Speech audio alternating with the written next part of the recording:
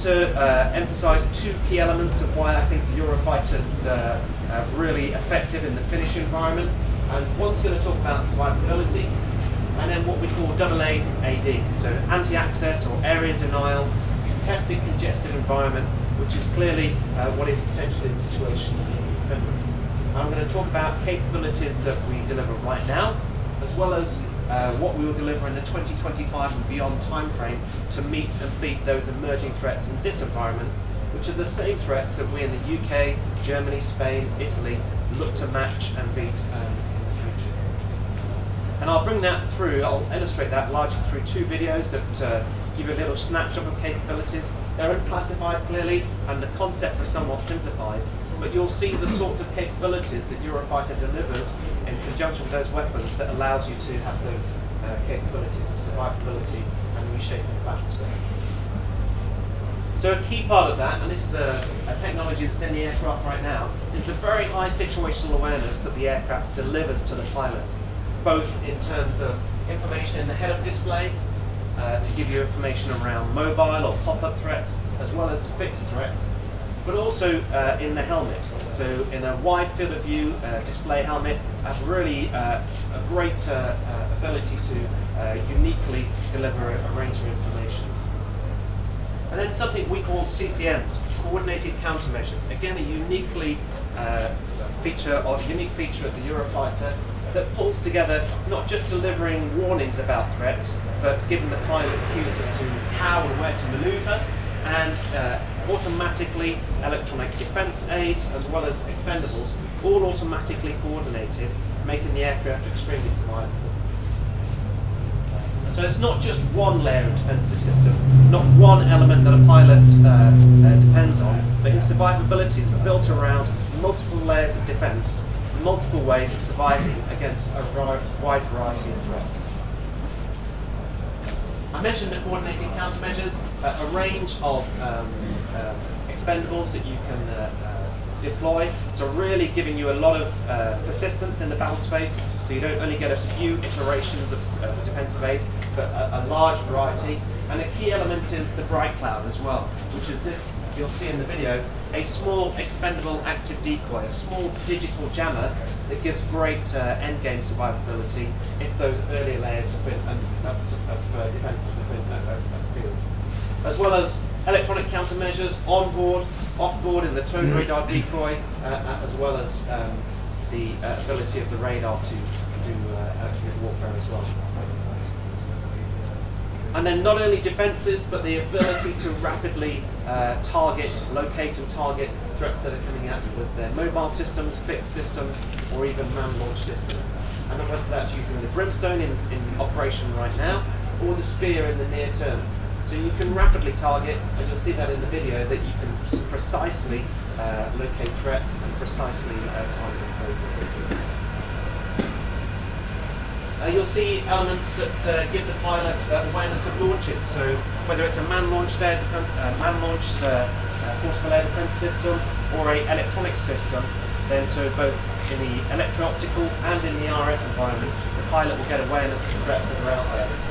Key to that is the Litening 5 pod, which uh, doesn't just do laser designation, but actually gives you really uh, great high resolution, full color information into the cockpit. And this video now shortly will show you the sorts of threats that we're talking about. So a, a portable uh, radar guided um, system, you'll look at some of the capabilities. So this is the pilot's view through the helmet, getting a, a rapid uh, indication uh, of the threat. Head down, you get a, uh, uh, an, an indication of where the threat is. Immediately the system will start doing some onboard jamming. Towed radar decoy will come out, starting to deploy the threat changing threat levels in cockpit and in the audio as well, so the pilot knows the level of threat out there. Is the system targeting me or just seeing me? And as the system goes into a launch mode, then again, an increased response from Eurofighter that gives the pilot very high survivability. So very high awareness of the sort of threats that are out there. The system tells you it's going to jam the threat, and it's telling you that onboard systems are effectively jamming, giving the pilot a cue to maneuver, as I talked about, so all of these are unique capabilities in the aircraft right now.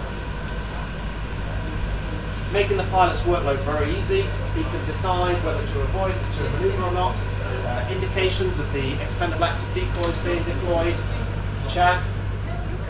This is the BriteCloud new uh, active decoy, combat proven uh, off the Tornado and in trials on Typhoon right now.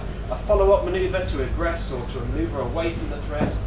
All of these sort of capabilities giving you that many-layered defence that really makes Typhoon and Eurofighter very survivable in those sort of theatres. Having avoided the threat, then a key element is uh, being able to rapidly uh, target the threat, whether the automatic target recognition and location for, radio, for radar emitting threats, or it could be, as you'll see shortly, for uh, purely through electronic means.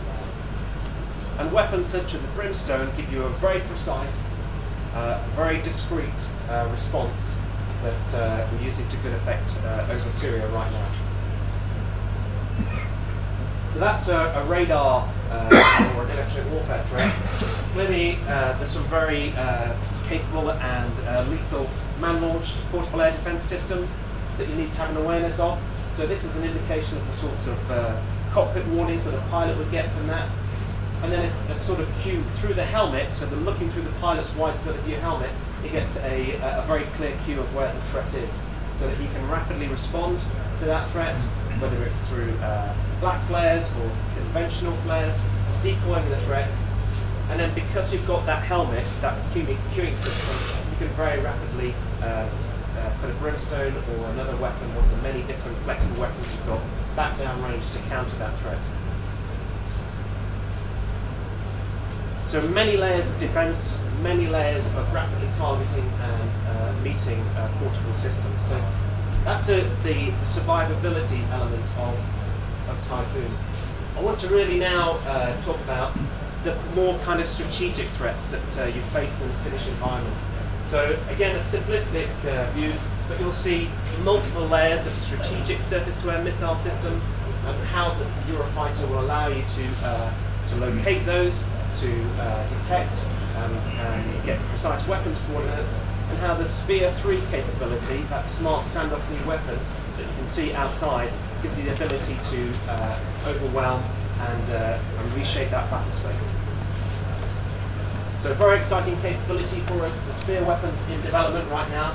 We've already done initial trials, so the first release from Eurofighter was done in May 2016 uh, in the UK, uh, but the weapon is being continuously evolved, and as well as a strike capability with a multi-effect warhead and very precise target location capability, there's an electronic warfare attack capability that allows you to do stand-in jamming. So both uh, electronic attack capabilities and suppression capabilities on the aircraft, but also you can do stand-in jamming with, um, with the Spear. And on Eurofighter you can carry up to 12 Spears, as well as six air-to-air missiles on one platform. So you're, develop, you're delivering huge weapons mass. And for fin Finland, I think that's really important in this theatre, that you have a great deterrent capability and ability to deliver great mass, but also a broad range of effects from these multi-use warheads. Other uh, elements uh, that uh, make Typhoon very survivable or effective in this theatre is the, the way that information will be presented. So we have uh, current means of uh, displaying surface-to-air missile threat systems in cockpit. In the near future, the intent is to have these sorts of visual indications in the helmet. With Striker 2 being full colour and digital, it gives you a lot of flexibility to show effects of the system, perhaps suppressing the, the uh, missile engagement zone, which will be indicated by yellow, as well as active threats that remain red. So across the, inside the aircraft and across your formation, across the coalition, you have a, a clear uh, electronic order of battle, a clear recognised air picture of what the threats are out there and how effective your, uh, your system.